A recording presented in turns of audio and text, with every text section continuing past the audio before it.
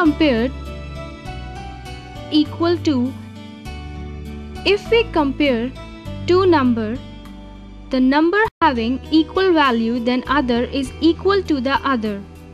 The sign for equal to is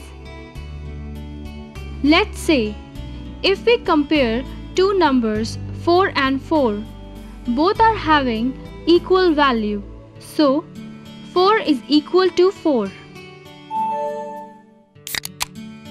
26 is equal to 26. 33 is equal to 33. 67 is equal to 67. 46 is equal to 46.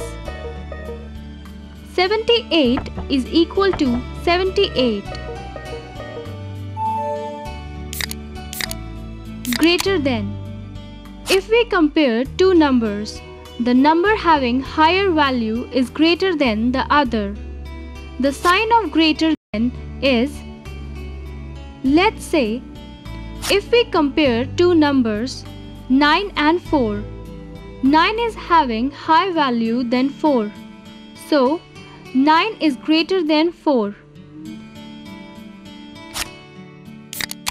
24 is greater than 19. 45 is greater than 35. 77 is greater than 56. 67 is greater than 34. 48 is greater than 23. Smaller